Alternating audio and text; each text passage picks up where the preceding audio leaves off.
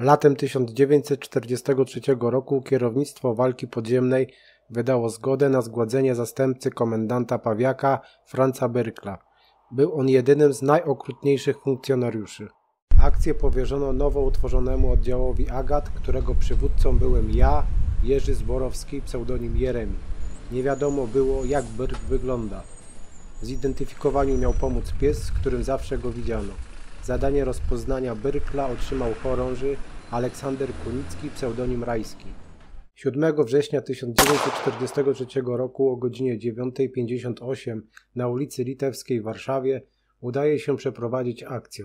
Kat Pawiaka pada martwy. Akcja trwała 90 sekund. Zakończyła się pełnym sukcesem.